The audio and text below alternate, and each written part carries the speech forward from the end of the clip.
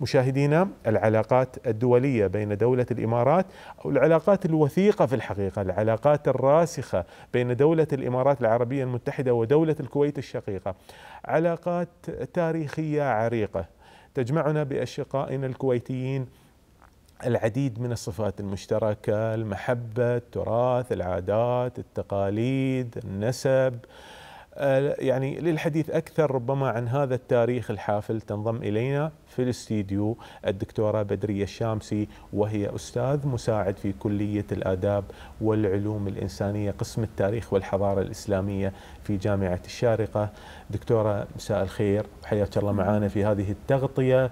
اللي من خلالها خصصنا هذه الحلقة لتحديدا وفاة الشيخ صباح الأحمد الجابر الصباح. أمير دولة الكويت الشقيقة الأسبق. طيب الله ثرى ماذا تقولين؟ في البداية أقول وفي هذه المناسبة نحن نعزي أنفسنا قبل أن نعزي أهل الكويت. لا شك. أقدم لأهل الكويت خالص التعازي. بمناسبة هذه هذه يعني المأساة التي يمر بها الوطن فالمصاب واحد ووفاة الشيخ صباح يعني كان لها أثر كبير في نفوسنا كما لها أثر في نفوسهم فكما قلت المصاب واحد أقول لهم أحسن الله عزاءكم وعزائنا بوفاة الأمير صباح أمير الإنسانية صحيح يعني العلاقات الوثيقة كما ذكرنا في المقدمة مم. التي تربط بين دولة الإمارات العربية المتحدة وشقائنا في دولة الكويت على مست يعني على مختلف المستويات سواء.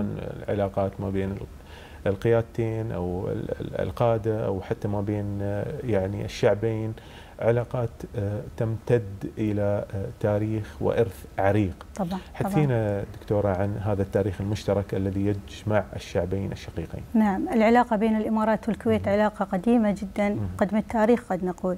ولا يعني أكثر ما كان يربط أهل الإمارات بالكويت رحلة الغوص التي كانت رحلة مشتركة بينهم. كان تجارهم يلتقون مع بعضهم البعض في في المغاصات وفي بيع اللؤلؤ. كذلك السفن كانت تبحر جميعها من في الخليج العربي اللي هو يعني مشترك بين كل دول الخليج. كانوا يلتقون في مراكز اقتصادية مثلا في البصرة كانوا ياتون لشراء مثلا التجارة بالتمر ويذهبون جميعا لبيعها في يعني لبيع لبيعها أو حتى كذلك كانوا يذهبون جميعهم إلى الهند لبيع اللؤلؤ. فالعلاقات وطيدة منذ ذلك التاريخ. أهل الإمارات وأهل الكويت بينهم نسب. بينهم علاقات اجتماعية حتى أن دماء أهل الإمارات قد أريقت على أرض الكويت فأصبحنا شيء واحد. لا شك. فليس هنالك فرق بيننا وبينهم إنما نحن أشقاء أكثر عمقا من الش... من الأخوة بيننا وبينهم. صحيح. يعني آه. تفضلي دكتورة إذا عندك إضافة؟ أقول يعني نعم. مثل ما قلنا من قدم التاريخ منذ أيام الغوص منذ حتى يعني في عصر الانفتاح ظهور النفط كل هذا جمع بين الشعبين في كل في يعني في كل المجالات. صحيح، يعني كذلك لو توقفنا عند الجانب التعليمي، دولة الكويت من أوائل الدول نعم. في الحقيقة التي يعني أدخل إليها التعليم صحيح. وأرسلت البعثات نعم. نعم. تلو الأخرى من دولة الإمارات لمواصلة استكمال دراساتهم هناك لو توقفنا عند هذا الجانب المهم والكويت التي كانت سباقة كذلك في احتضان نعم. شقائها الخليجيين صحيح. وفي صحيح. إرسال بعثات تعليمية فيما بعد من دولة الكويت إلى دول الخليج صحيح كلام صحيح فهذا فعلا يعني من الأشياء الجميلة التي يذكرها أهل الإمارات وأهل الخليج جميعا. الكويت كدولة نالت استقلالها قبل جميع دول الخليج وظهر فيها البترول من ثلاثينات القرن الماضي. لم تبخل فعلا كما ذكرت على أشقائها. في عهد الشيخ عبد الله السالم كان يحب لي كما يحب لي لشعبه كان يحب لشعب أشقائه الدول الخليجية. فعلا أرسلت البعثات التعليمية على لدول لدولة الإمارات كان هذا تقريبا في خمسينات القرن الماضي 1955 جاءت أول بعثة إلى الإمارات مزودة بكل شيء بنت المدارس التعليم المناهج نعم. نحن لفترة يعني ليست ببعيدة كانت مناهج الكويت هي التي تدرس في الإمارات صحيح. ونحن نفخر بذلك نعم. بالإضافة إلى مجال آخر غير التعليم كان مجال الصحة وهما شيئين لا يب... لا يختل يعني لا نستطيع أن نستغني عن الأول دون الثاني صحيح. وكان للكويت أيضا دور كبير لا تزال مدارس في دولة الإمارات تحمل اسم الكويت لا تزال مستشفيات تحمل اسم الكويت بعثات طبية كانت تأتي إلى الكويت فبنيت مستشفيات في دبي في الشارقة في الإمارات في رأس الخيمة لا يزال يسمى مستشفى الكويت صحيح. وشارع الكويت صحيح. أو يعني حتى في رأس الخيمة موجود شارع يسمى بشارع الكويت نسبة صحيح. إلى المستشفى الذي كان في ذلك الشارع نعم. آه هذه بصمات الكويت التي لا تزال صحيح في دولة الإمارات صحيح يعني نحن توقفنا عند مجال المجال التعليمي بالتحديد وقبل ذلك ما يجمع الشعبين الشقيقين خصوصا إن يعني جزء كبير من اهالي دولة الإمارات ذهبوا إلى الكويت لطلب نعم. الرزق والعمل نعم. هناك نعم. ومن ثم العودة مرة أخرى سنتوقف عند الجانب الفني الجانب الإعلامي نعم. والكويت كانت سباقة في هذا المجال. من خلال الفنون من خلال الدراما التي كانت وما زالت حاضرة في كل بيت من خلال شاشة التلفاز. كذلك هذا جانب مهم ارتبطنا منذ الصغر بالدراما صحيح الكويتية. صحيح فعلا. إن الدراما الكويتية هي التي ربطتنا بالكويت أكثر. كما يعني لو حتى منذ أن كنا صغارا كنا لا نشاهد إلا المسلسلات الكويتية. ولها بصمات طبعا علينا. فكانت يعني الكويت مرادف للأشياء الجميلة سواء كان في التلفزيون حتى الرسوم المتحركة. لا نزال نتذكر افتح يا سمسم وكان هذا من يعني حتى الديباجه التي تقال في البداية من انتاج من إنتاج دولة الكويت أو دول الخليج المشتركة وفي النهاية تذكر الكويت. هذه في مجال الدراما. أيضا كان تعاون في مجال الدراما الإماراتية والكويتية. صحيح. الجميع يتذكر مسلسل الغوص. كان مشترك بين دولة الكويت وبين دولة الإمارات. صحيح. آه لا نزال نتذكر درب الزلق لا نزال نتذكر ديدة حبابة. يعني أشياء ارتبطت مثل ما قلت في طفولتنا وفي وفي عندما حتى كبرنا لا تزال هي الكويت يعني وأنا يعني واحدة من الناس دائما يعني حتى حكام الكويت ارتبطنا بهم هاي أغنية جابر ويا سعد هم نعم. سندنا للأبد هاي كنا إحنا نرددها بدون صحيح. بشكل تلقائي صحيح. فكانت فعلا الدراما والتلفزيون هي من الكويت في البداية. حكام دولة الكويت السابقين طيب م. الله ثراهم حرصوا على تنمية آه، تحديدا هذه الجوانب التي تميزت وتفوقت فيها دولة الكويت الشقيقة في كافة المجالات. سنتوقف عند آه، يعني عصر التنمية والازدهار في هذا الجانب سواء كان الثقافي الفني أو حتى التعليمي أو الرياضي في عهد المغفور للشيخ صباح الأحمد الجابر الصباح طيب الله ثراه.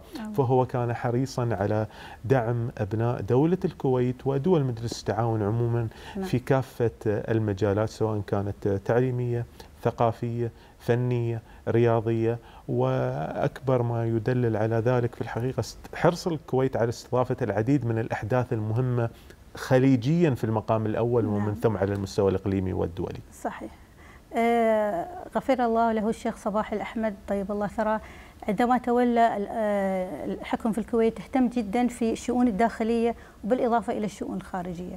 صباح الأحمد سمي بعميد الدبلوماسية العالمية وحيث جمع بين الاثنين السياسة والاقتصاد.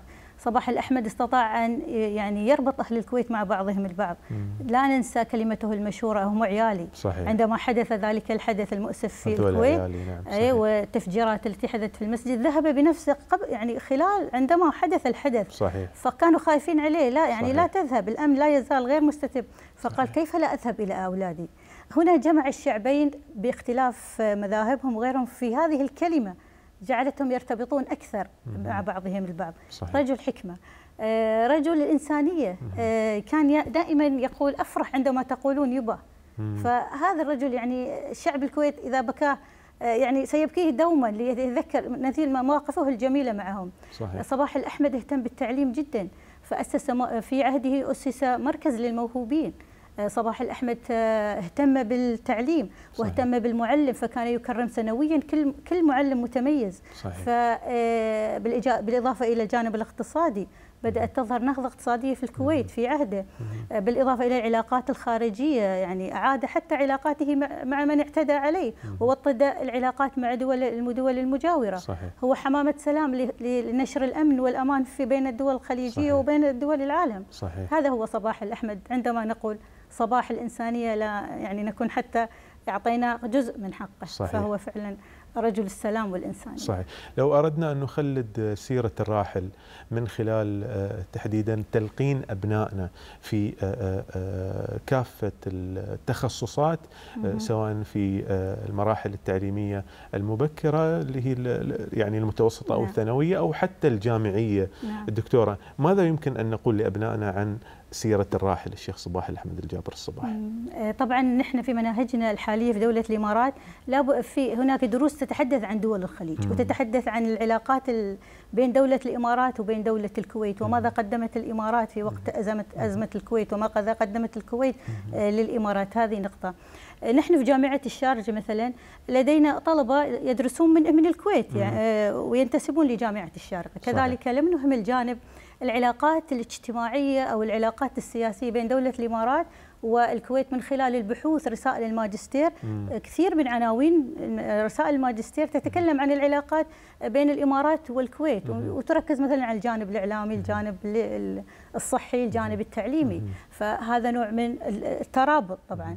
الآن مثلا إعلام دولة الإمارات منذ الأمس منذ إعلان الوفاة حتى اليوم وأكبر دليل هذا البرنامج صحيح. إنه يتحدث عن هذا الرجل فهو فقيدنا كما هو فقيدهم صحيح. فلم نهمل شيء يعني ولن يهمل يعني كأن الذي حدث حدث لنا صحيح. فهذا صباح الأحمد أنا أقول مثل ما قلت يعني هو فعلا حمامة سلام بين آه، للعالم جمع أجمع لا شك في ذلك مم. يعني. وأنت تستذكرين الرسائل الخاصة بالبحوث والدراسات العليا الخاصة نعم.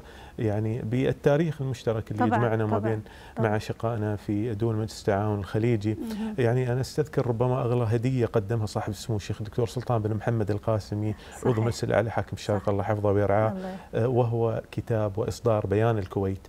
التي يعني يعني قام بإهدائها لشعب الكويت الشقيق وسطر من خلالها العديد من المعلومات المهمة الخاصة بدولة الكويت هذا أبلغ ربما دليل على محبة القيادة لدولة الكويت ومحبة الشعبين كذلك الشقيقين. أنا سعد بوجودك معي دكتورة وبما قدمتيه كذلك من إضافة مهمة في هذه الحلقة الخاصة والاستثنائية. شكرا جزيلا لك دكتورة. شكرا لك. شكرا للاستضافة وما قصرت. الله يحفظك.